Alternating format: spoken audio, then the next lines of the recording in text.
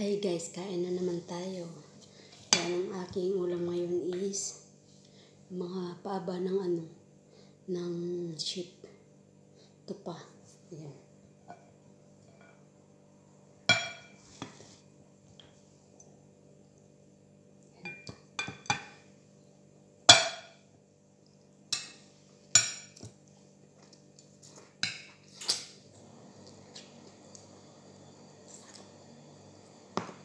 Nag-umpisa na tayo. Hanggang mainit pa ang sabaw. Hmm?